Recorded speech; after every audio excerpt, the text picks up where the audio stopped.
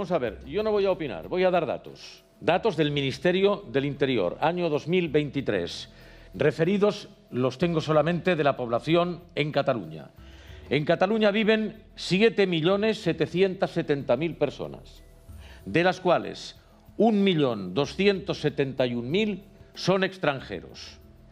Pues bien, ese 16% de la población comete el 49% de los delitos. Y ese 49% que cometen delitos, el 61% son marroquíes. No diré nada más. Creo de- que es suficiente. Miguel desde Santa Perpetua, ¿qué tal? Buenas tardes. Hola, buenas tardes. Mire, yo con este señor argentino que ha dado su versión, completamente estoy en desacuerdo. En primer lugar, ese señor que comete un delito, además de que está sin papeles la mayoría, automáticamente los expulsaría. Yo no entiendo cómo puedo estar en un país. Yo ahora mismo, si yo me voy a Francia y no tengo documentación, es que no me dejan ni cruzar la frontera. O sea, yo no entiendo lo que está pasando aquí. Y luego te enteras la cantidad de ayudas que hay. Y otra cosa, interesa delinquir, porque entonces automáticamente es el siguiente. De- me meten en la cárcel, o sea, me cogen, me dejan libre, como que no me haga así que sí, me dejan libre. Y cuando me hacen el juicio, me meten en la cárcel, no me pueden expulsar hasta que no haga la sentencia y la cumpla. ¿Me entiendes? Esto está montado de tal manera que da vergüenza. Desde Santa Perpetua nos llega esta, eh, esta llamada y usted, desde donde sigue este programa, nos llama y nos dice su opinión. 690-710274. El, mm, Don Ricardo Fernández de Eo ha dado unos datos que hacen que pensar. Yo no he opinado, eh, solo he dado datos. Yo ahora te voy a dar otros. A ver, María José. El 50,9 de los presos que hay en España son extranjeros. ¿Y sabes lo que nos cuesta cada preso? Yo se lo voy a dar datos. 21.299 Sí, pero euros. esto de cuantificar lo que cuesta un preso, ¿y por qué no Pero que cuantifican lo que cuesta la, la gente que viene aquí a trabajar? pero Porque porque- estamos Hombre, hablando ya de está esto. bien. Oye, pero- Hombre, pero lo que pero- cuesta pero, darle de comer a un preso pero es ¿qué cuando le estás dando de comer a Pero gente en no África. pero y ¿qué te, molesta ¿Me darle de comer a la gente en la cárcel. yo no te he Hombre, interrumpido. pero, Bueno, hombre, digo- lo que hay que escuchar, lo que pero pero doy la palabra. Hombre, pero eso lo encuentro molesta, mejor que no coman y ya está. Y por favor, después ¿qué tienes la palabra. Deja, que que exponga. Y luego me dices... Lo que y luego cuesta me un rebates. preso. Por favor, Bonomi, Lo que, nos cuesta, nos cuesta José. Sí, 21.200... darle de comer, sí. Por- Oye, de verdad, No, no, tremendo. por Oye, favor, el por respeto me por parece favor, que tú te respeto, mucho demo- muy democrático Bonomi, por menos favor, deja yo. exponer, Por pero favor, a ver, que lo digo yo, que soy el presentador, Vale. déjala exponer y Vale. después tienes la palabra. Nos cuesta esto. Yo no voy a entrar tampoco. En relación a lo del metro, sinceramente, yo creo que esta persona es una persona perturbada. Yo no creo que sea una persona marroquí, ni que sea xenofobia, ni que sea en contra de las mujeres. Es mi opinión personal. También ahora me dices. ¿Y lo que por qué no que pegaba a los hombres? Pues mira, porque tendrá un, yo qué sé, pero esta persona está Ah, enferma. Perdona. tendrá un no sé Mi qué. opinión, mi opinión es que es una persona enferma y una persona enferma que cogerla, tratarla, si no está enferma, juzgarla y luego, y luego que se le haya juzgado y después de las cifras que he dicho, decidiremos si nos los quedamos o no nos los quedamos, con lo que nos cuestan, pero la realidad la realidad es que en nuestras cárceles la mayoría de los presos son extranjeros, sinceramente. Con lo cual, Eso no es verdad. bueno, pues vale, pues entonces escúchame una cosa. Yo te lo explico, cuando- luego te lo explico. estadística, Ahora- ahora lo explica, déjame coger estadística llamadas. se equivoca, porque lo he sacado del INE de estadística, que sí que están manipuladas, las encuestas, la estadística, todo está manipulado. eh, María José. Entonces, acabo. Con lo cual, tenemos que eh, devolverlos a origen. Hay verdaderos problemas, porque no, no todos sabemos de qué países son, porque además mienten, entran en condiciones... eh, Sí, yo los tengo. bueno, pero entran. Y no es, no es fácil, no es fácil devolverlos a origen. Lo que sí que te quiero decir es que a lo mejor sí que tendríamos que tener unas leyes que sentenciaran más rápido. Más rápido, porque los procedimientos judiciales, a lo mejor este chico eh, que ha estado pegando, que está enfermo, no recibe asistencia porque de repente lo cogen, lo sueltan y necesita asistencia sanitaria y no la recibe, o a lo mejor resulta que es un psicópata que tiene que estar encerrado y tardan dos o tres años en salir su procedimiento judicial. Y eso crea mucha inseguridad. Otro Vamos a- dato. De- Déjeme, para, para complementar, salís muy bien parados. Porque mira, la tasa de los delincuentes, extranje- de los extranjeros, ¿eh? De, extranjeros, de- de ¿eh? de ese 49% que cometen delitos, el 49. 61% marroquíes, el 42% rumanos, el 13% italianos, Ah, el 6% chinos, el 14% pakistaníes, el 48% colombianos. La tasa es del 14% para los hondureños, 28 franceses. 51% españoles, ¿no? No. No, no, los españoles van aparte. Ah, bueno, por eso, por eso. No, digo, no, los españoles van aparte. Vamos teléfono. No, no, los Ah, hombre, españoles son 49, comen- los españoles otros 51. cometen lo- de los Ah, bueno. delitos que se cometen en No, pues España. parece que acá no se cometen delitos salvo los Yo no he di- inmigrantes. yo no he o sea, dicho eso, de ¿eh? los delitos que se cometen, el eso. 51% los cometen los Te españoles. puedo, te puedo, Pero, te puedo pero ¿por qué no escuchas, Ah, Javier? escucho, escucho. ¿Por qué no escuchas? Sí, sí, escucho. Porque es que si no, no, te- no podremos hablar con, con lógica. Mm. El 51% los cometen los españoles y el 49% los extranjeros. Pero es que ese 49% de delitos que cometen los extranjeros se corresponde con el 16% de la población. No, con- sí, Espera, cojo ¿por una qué? llamada. Claro, Yo te digo el porqué, es decir, el Luego te 16% explico el porqué. cometen el, Sí, la mitad. Ahora te explico el por qué estás equivocado. Vale, ahora te voy a explicar ahora, el por, por qué favor. estás equivocado. Yo no estoy da- díselo- ahora te lo explico. díselo no, no, al tú- Ministerio del no, no, Interior. Pero yo te escuché a ti, luego escúchame Pero a mí. son luego datos te lo explico. que son datos sí, del sí, pero Ministerio luego del te lo Interior. Pero de ese gobierno Todos los datos que a ti te mentir. parece Yo tan te lo bueno. explico. Creo que hay que expulsar a los inmigrantes que cometan delitos, a los violentos y a todos los que se salten las leyes. Y, eh, la población española, la gran mayoría, tenemos percibimos a este tipo de inmigración eh, con miedo. Eh, por lo que vemos, por lo que vemos, yo y la gente que conozco en esta zona, que la zona esta es de una zona de mucha inmigración. Eh, estas estadísticas que está dando este hombre, perdón, no, no me acuerdo cómo Ricard se llama. Fernández de Ricard. Sí, dígame. Ricard, vale. Ricard está dando unas estadísticas que las ha sacado seguramente de aquí de Cataluña.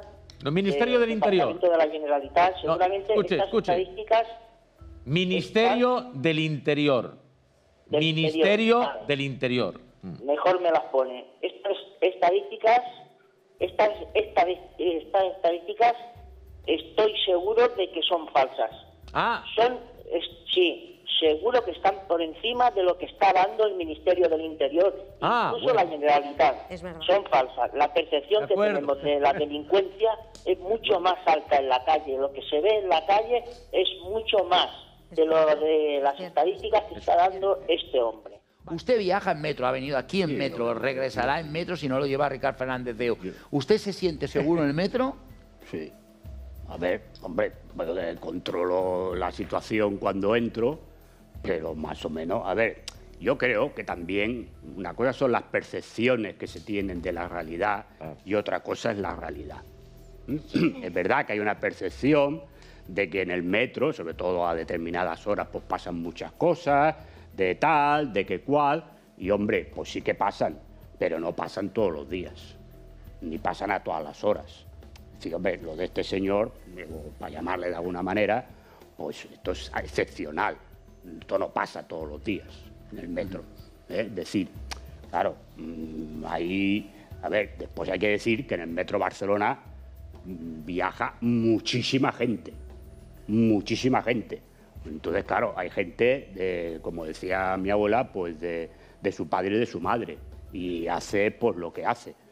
Es decir, claro, es decir, a la noche, pues es verdad que hay gente pues que como va un poco alegre de la vida, pues, eh, pues gritan y hacen historias, pero bueno, a ver, que hay gente que te roba el móvil o está pendiente de si alguien va despistado para robarle el móvil, sí.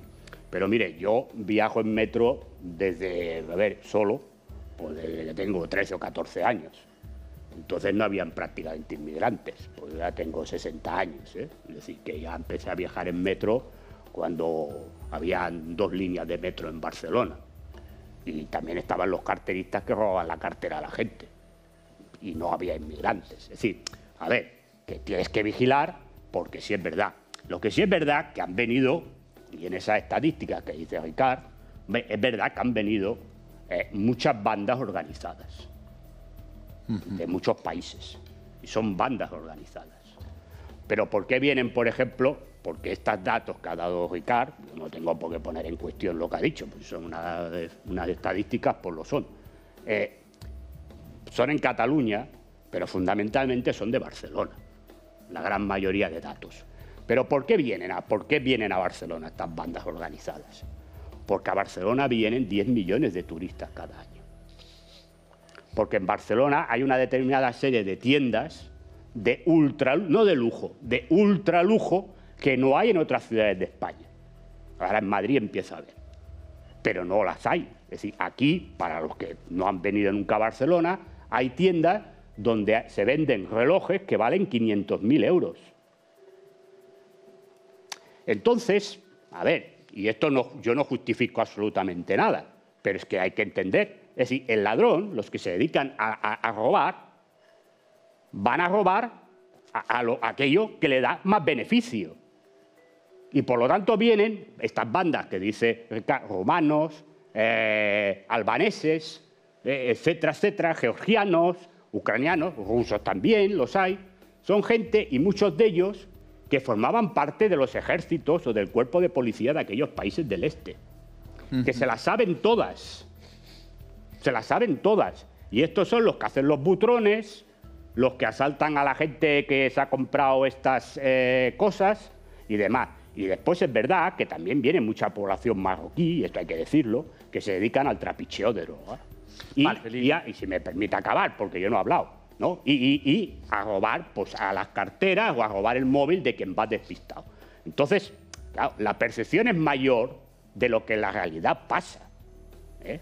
porque tampoco eh, está todo el día. A ver, que cuando hay una- un gran acontecimiento deportivo, un gran acontecimiento musical y no sé qué, a la gente le roban, claro, porque ¿dónde van a robar? Donde hay gente. Y la gente también, hombre, va un poco, si me permite, con el lirio en la mano, sin enterarse de que en estos sitios esta gente va a robar. Pero eso, a ver, y la expulsión, es que la ley ya dice que se pueden expulsar. Es que, es que, a ver, el problema es ese. Pero el problema es Que no que, que- no, ¿sabes por qué no se hace? Porque cuesta. Porque cuesta un ojo y parte del otro echar al, al inmigrante fuera. Eso sí, señor. Cuesta muchísimo. Sí, señor. ¿eh? Cuesta muchísimo.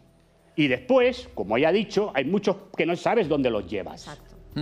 Porque el que viene en patera no trae papeles. Entonces no sabe si es de Guinea, si es de Senegal, si es de Burkina Faso, si es de Mali o de dónde es. Después los niños estos ninis, Marruecos no los quiere. Directamente, porque ya han ido allí y los han llevado. Y Marruecos dice que no los coge. ¿Y entonces qué hacemos con esos niños? ¿Los tiramos al mar? ¿no? Porque a la gente, eh, cuando se hacen estos discursos, eh, yo a mí me da igual cada uno piense lo que le dé la gana. Pero yo siempre digo que los discursos ti- tienen que estar centrados en la realidad de la vida. Y saber la realidad de la vida. Y ya ahí tenemos una ley que dice que se puede expulsar a los inmigrantes que cometen ilegalidades. Pero ¿sabe usted lo que cuesta llevar a una persona a Marruecos, a Colombia, a Bolivia, a Argentina? ¿Sabe lo que le cuesta al Estado? Pues la mayoría de gobiernos no los lleva. No los lleva. Salvo delitos graves. O sea, tiene que delitos muy graves, acompañado de dos asesinatos y acompañados, hasta cabo cada- asesinatos, etcétera, Vale, etcétera. tengo que acabar este tema si no Ya nos va a dar está, y este es el problema, esta es la realidad. Y por lo tanto, y si después te encuentras con inmigrantes que no sabes de dónde son, ¿dónde los llevas? Porque claro, cuando tú llegues, llegas a Senegal, pues en Senegal te dicen que no son senegaleses y que no te los cogen. ¿Y qué haces con esa gente?